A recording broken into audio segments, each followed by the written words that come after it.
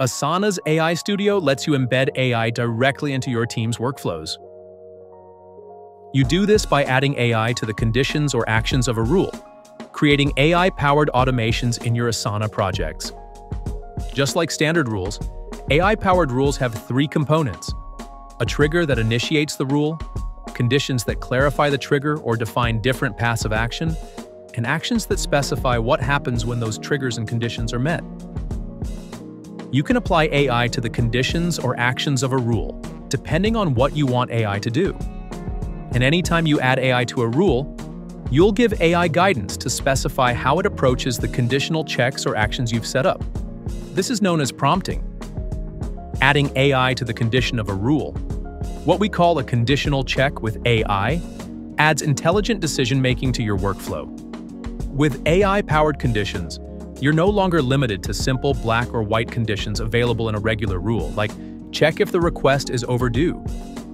AI can perform more open-ended conditional checks like check if the request has enough information. Let's see what that looks like in practice. In this quality check rule, we've created two conditional checks with AI, where AI evaluates incoming creative requests to see if they have enough information. AI can review the information in the task's description, comments, and attachments. Depending on its assessment, requests will be moved to the appropriate section. These conditions are open-ended, but they work because we will give AI clear guidance that includes relevant context and details, explaining the exact elements that need to be present for a request to have enough information. Now, let's look at AI-powered rule actions.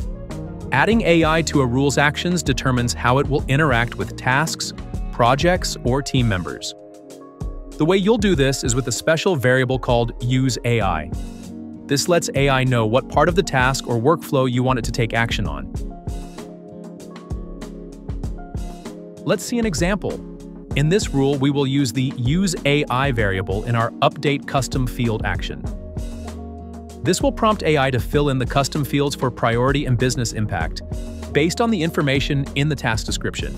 Then we'll give it clear guidance, including the relevant context and framework our team uses to prioritize requests, so that it fills the custom fields accurately. There are lots of actions AI can take in your workflows.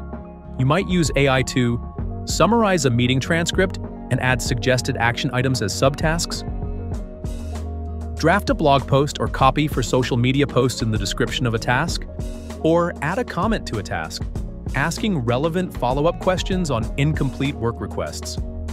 To learn more about incorporating AI into your workflows, head to the Asana Academy.